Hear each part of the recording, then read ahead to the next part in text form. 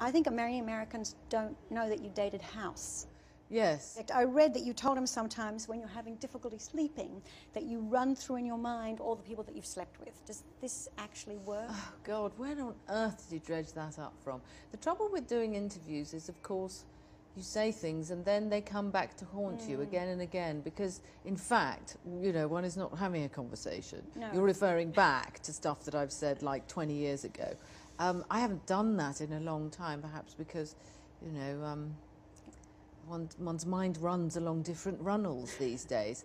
I'm more likely to rehearse, you know, casserole recipes, which perhaps is a sad indictment of my uh, state of mind. Actually, it's a really good. I should do that tonight if I'm having trouble sleeping. I'll go back to that and run through them. Yeah. Yeah. do you think there's a big gap between mothers and not mothers? You spent quite a long time as not a mother and then switched. That's beginning to that the space that women have in which they do not have to think about whether they want to be a mother, whether being a mother is difficult for them, or whether not being a mother anymore because their children have left home is difficult. I mean, it's nice to think that women have patches of time where they don't have to worry about all of that. I find it fascinating because, of course, now I can't be dragged away from children and babies. Whereas I really wasn't very interested at all before I was a mum. So you have a teenage daughter now, and I wonder, yeah. does she look at the P.L. Tra- I have a teenage daughter too. Does she look at the P.L. Travers hair and go, Mum, no? Yeah, well, we all said that. Everyone said that. Everyone looked at me looking like an infant woolly mammoth and just said no. Um, and I had, it reminded me of having a perm when I was 17, and it was equally okay. ill-advised then. I, I looked terrible. No, yeah, she, she did, but she's a goth now. So sometimes I do her hair up in like spikes. She looks so cool.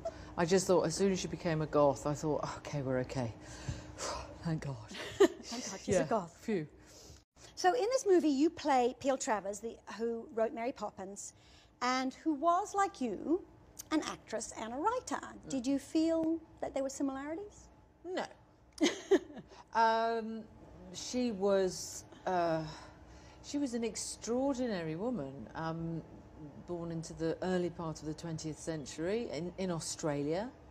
That um, far away? Immediately. Well, what's so interesting is she, she just didn't want to be Australian. And it's odd because she was fascinated with story and myth later, and you think, well, the Aboriginals are the best storytellers of the human tribe. If she'd had that connection, maybe she would have been more willing to accept her Australian heritage. But she was very snobby about it. As she said, I wanted to get out of there as soon as I possibly could. Although before she went left, she toured Australia with, with a with a theatre group, and there are fantastic pictures of her looking very dramatic with grapes in her hair and things. She she was um, very troubled. Her father was an alcoholic. Her mum tried to commit suicide um, when she was about eight, and she had to sort of stop her, really. She was a little bit older, she was 10. Um, and uh, those experiences marked her for life, and indeed one could one could infer that she really spent the rest of her life trying to metabolize them and work them out. If you could change one thing about the way the world is set up, how would you do it? I would destroy and remove the monetary system. Which oh, so is, it's a modest a change then? Yeah. yeah, I mean, I would just help to explain that it's a failed system. It has failed us on every level. It is a cataclysmic failure. And uh, that's what I do.